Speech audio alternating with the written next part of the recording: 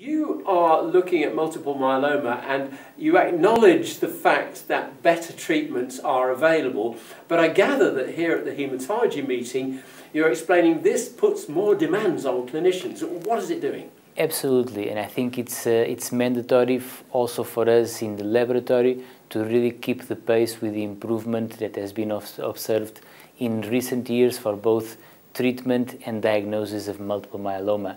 What are the challenges? Well, the challenges is that now increasing response rates are being observed with the incorporation of novel, novel agents. Depth of response is increasing. We also know that depth of response is clinically relevant in multiple myeloma, particularly the achievement of complete response, but we know that complete response is also a suboptimal criteria. The criteria is based in like 98 and has not yet evolved like the treatment has evolved. And in fact, there are some technical limitations. The criteria doesn't have the sensitivity to compare two very effective treatment strategies. The criteria, the CR criteria, fails to identify patients with very early relapses, plus it has never been a marker of curability in myeloma. And, no. this, and this is why there is the need to incorporate nowadays uh, MRD assessment in myeloma. Right. Could you tell me about minimum residual disease and how to incorporate that into myeloma monitoring? So minimal residual disease is just that residual disease that you couldn't detect using conventional criteria or the technologies that define conventional criteria.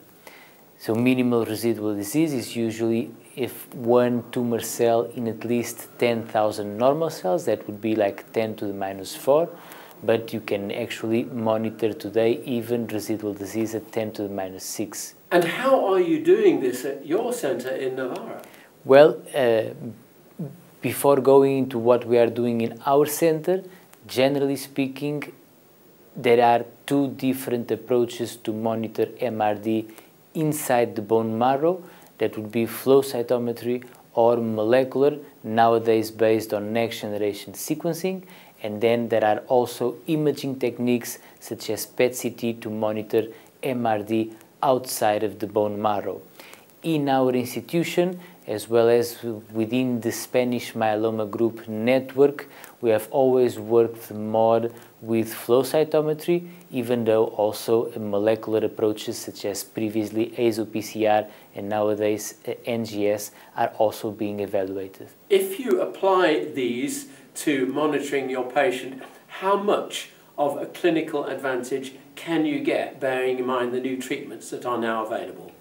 Well, that, that is perhaps the ultimate question, the most important question, but because it's so important, because it's when a biomarker moves from a simple prognostic marker into something that can tailor or optimize or make a fine tune of the patient management because it is so important the answer to that question should rely on evidence-based medicine and evidence-based medicine can only derive from data obtained from prospective and well randomized controlled clinical trials.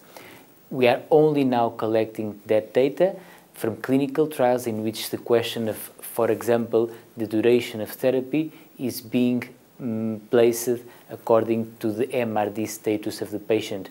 Before that, because there is no evidence yet, there is only evidence that is a better biomarker than CR, but there is yet no evidence on the basis of clinical trials. You cannot yet make uh, clinical decisions based on MRD assessment. I think it, this is very important to emphasize. So it's an objective criterion, but one that holds a lot of promise. Uh, what about circulating myeloma cells? Where do they come into this? Well, that's a, a side benefit of really developing the technologies to monitor disease in a very sensitive fashion. So the same technology that has been developed over the years to monitor MRD can certainly be applied to also monitor circulating tumor cells. Now, I think it's important to really emphasize that the monitoring or measurement of circulating tumor cells, CTCs, At the moment, it's not possible using the technology that we are using to monitor MRD in the same setting. Therefore, after treatment, CTCs in the blood is not a marker for MRD. By contrast, in all the spectrum of the disease, that is MGUS, smoldering myeloma, newly diagnosed myeloma, relapse refractory myeloma patients, in all the four settings, it has been shown using very low sensitive techniques that detecting circulating tumor cells is of high clinical significant prognostic value.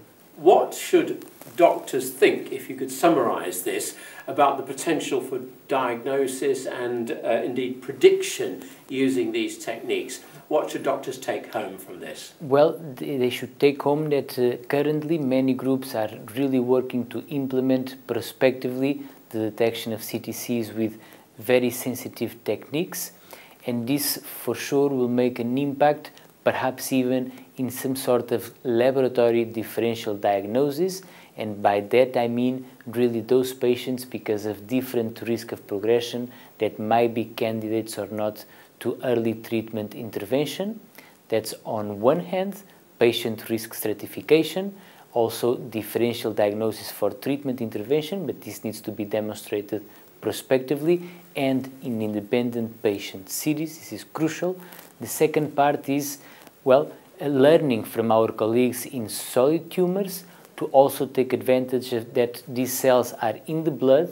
You can actually sort them, for example, using flow cytometry, and then also to perform genetic or cytogenetics on these cells. So perhaps not in all patients, but in a subset of patients to perhaps offer the patient the possibility to perform genetic characterization in a non-invasive fashion.